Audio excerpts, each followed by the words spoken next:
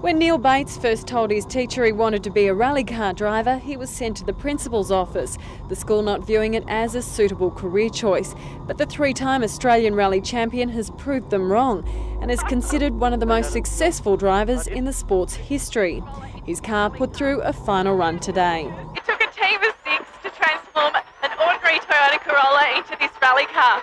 Among the changes is turbo for extra front and four-wheel drive for extra traction. The ride, pure thrill and adrenaline.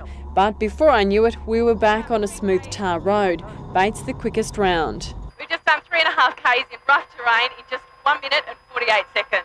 The lack of rain a factor on course. This rally will definitely be dusty, but I'm hoping it's not going to be dusty enough to affect the results. You know, even though it was dusty out there, there it wasn't dusty enough to slow slow you down from a vision point of view. His co-driver undaunted at being involved in a male-dominated sport. The beauty of rallying is it's a very non-gender specific sport, so you can do the job based on your ability. And don't even bring up the old argument that women can't read maps. That's a fallacy, you know, that, that really is a fallacy.